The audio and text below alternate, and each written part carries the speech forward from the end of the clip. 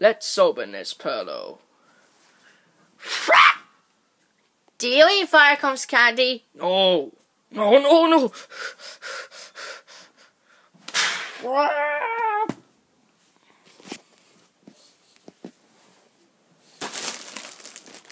Things seem to happen to people don't eat Firecomb's candy.